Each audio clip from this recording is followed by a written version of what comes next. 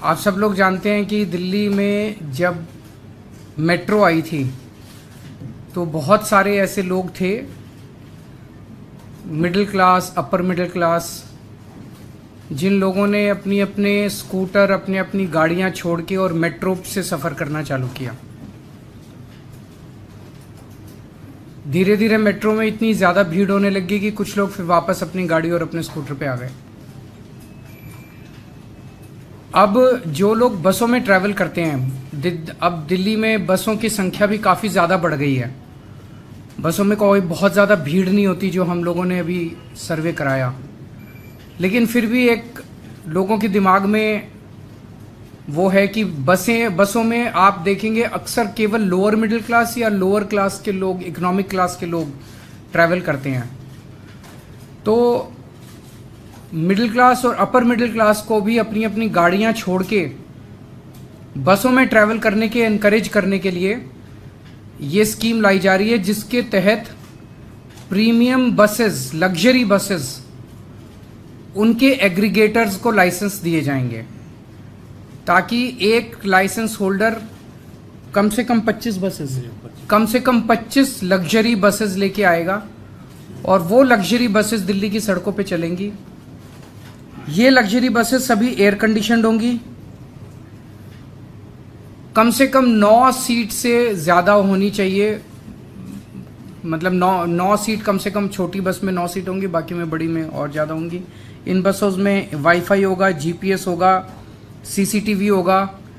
Standing allowed नहीं होगी। हर एक को सीट मिलेगी। और सीट भी डिजिटली मिलेगी। आप अपनी सीट ऐप होगा हर एक, उसका।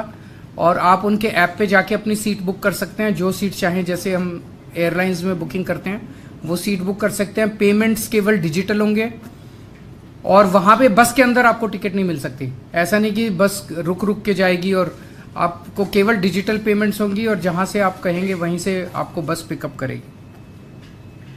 इससे हमें उम्मीद है, बिकॉज़ काफ़ी अच्छी अंदर आरामदेह बस होगी, कंफर्ट होगा डिफाइंड टाइम होगा चलने का, पहुँचने का। तो हमें उम्मीद है कि बहुत लोग इन अपनी गाड़ियाँ छोड़ के इन बसेस में आएँगे और इससे दिल्ली की यातायात व्यवस्था बेहतर होगी ट्रैफ़िक कम होगा और पोल्यूशन एयर पोल्यूशन कम होगा। इसमें जो बसेस होंगी, वो अगर सीएनजी बसेस हैं तो वो तीन साल से पुरानी नहीं होनी चाहिए, जो बसेस अलाउड होंगी। और अग, जो नई बसेस एक जनवरी 2025 के बाद एक साल, डेढ़ साल के बाद जो नई बसेस इसमें इंट्रोड्यूस हो सकती हैं, वो केवल इलेक्ट्रिक बसेस होंगी। जैसा मैंने कहा कि जो लाइसेंस होल्डर्स होंगे, उनको कम से कम 25 बसेस की फ्लीट मेंटेन करनी होगी। और जो इलेक्ट्रिक बसेस इंट्रोड्यूस की जाएँगी, उसका कोई लाइसेंस फ़ीस नहीं ली जाएगी। वो एनकरेज करने के लिए ताकि ज़्यादा से ज़्यादा इलेक्ट्रिक बसेज आए। एक इस पॉलिसी की खासियत यह है कि इन इस बसेस का रूट हम डिसाइड नहीं करेंगे। इन बसेस का रूट मार्केट डिसाइड करेगी। जहाँ उनको लगता है कि ज़्यादा उनको सवारी मिल सकती हैं, वो बसेस उन एरियाज़ में ज़्यादा चलेंगी। तो ज़ाहिर तौर पे उन एरियाज़ के अंदर ट्रैफ़िक ज़्यादा है, वो कम होगा। तो ऑटोमेटिकली उन एरियाज़ के अंदर ट्रैफ़िक कम होगा। उसे जो भी रूट वो डिसाइड करेगा बस ऑपरेटर उसे हमें सिंपल डिपार्टमेंट को इंटीमेट करना है कि मैंने आज से एक नया रूट चालू कर लिया।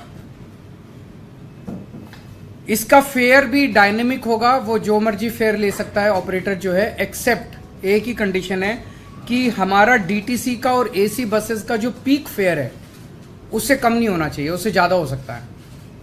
क्योंकि ये लग्जरी बसेस हैं तो उससे कम नहीं होना चाहिए। ऐसा नहीं हो कि ये डीटीसी के साथ कम, वो कम्पीट करने लग जाएँ।